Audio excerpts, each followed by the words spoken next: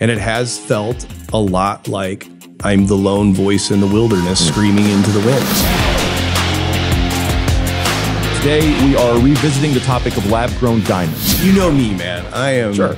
I am everybody's buddy. And We're going to throw your own words back in your face. okay. We have clips from our previous show queued up uh, and ready to go. So I figure I'll just make uh, you watch the younger, handsomer version of yourself, womp. making predictions Thinner? Am I um, thinner? I about don't know. lab grown diamonds, and then we'll get your reactions to about how wrong yourself. I was. The decline was as predictable as just anybody paying attention. Lab grown diamonds are, are, are green. They're green. They're green. Yep. They're, they're not green. That is the uh, unbiased viewpoint of a lab lab grown. What is the bottom?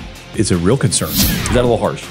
I think that's harsh. They are coming in because they're in love. Congratulations on your You success. made Carter Cast. Congratulations.